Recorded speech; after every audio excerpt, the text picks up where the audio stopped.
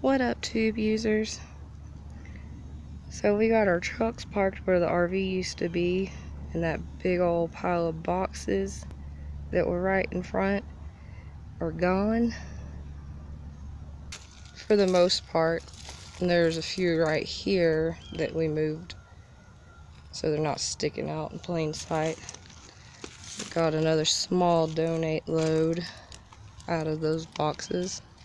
And this is our metal pile that has grown a little bit and probably going to grow a little more today because our task today is tackling the inside of the garage. So this lovely mess we got going on in here is what you call a junk hauler's garage. We've got chemicals and paints galore. We got all kinds of tools, garden tools, everything. And we're going to clear this out. Not completely, but keep what we're going to keep and donate, sell, scrap, dispose of the rest. Because we want to have room to do the transmission job on the van. And we still have tons of bone cleaner kits from a job we did over a year ago. We've used a few, we sold a few, but that's taken up a big space. Still got all the hot sauces. We've gotten rid of some a little bit at a time, but it's a mess.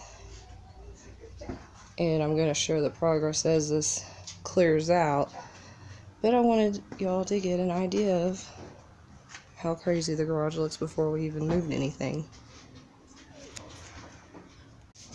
And we got all our chemicals on one side. It's a massive wall of paint of and chemicals. Lots of jobs. Some of them, though, some of them we got a lot of from just a job. Yeah. Yeah. This is the wall where they came from on this side. So they're all consolidated on one side. This is some of the stuff that came out. And then some went to the recycle pile and some went to the scrap metal pile. So this is the end of phase one of organizing the garage. We definitely got more space to move around. We still got tools to sort through and organize. We still got boxes to go through and chemicals to get rid of. But that's definitely a major change from the way it looked at the beginning of the video.